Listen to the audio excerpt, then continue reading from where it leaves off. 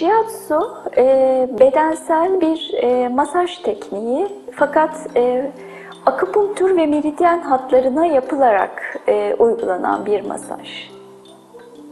Klasik masajdan e, Shiatsu'nun farkı, klasik masaj e, meridyen hatlarına yapılmayan bir masaj. E, sadece kaslara e, uygulanan bir teknik.